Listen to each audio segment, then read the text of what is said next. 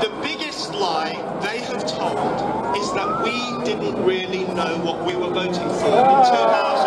2016. Absolute bullshit.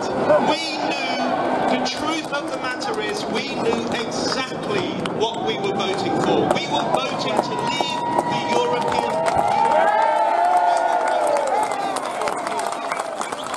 It is an undemocratic, illiberal,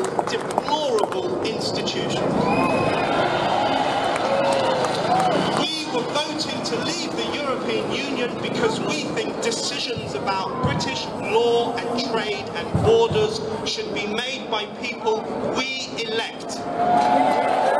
We voted to leave the European Union because we believe in democracy. The people inside that building may have given up on the idea of democracy, but we haven't. Is now more than a fight to save Brexit. This is a fight to save democracy itself.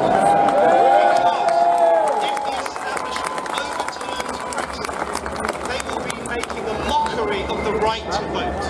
They will be making a mockery of the people who fought and died for our democratic rights. They will be making a mockery of us. The question before us now is really simple. Should the public have a real say in how the nation is governed?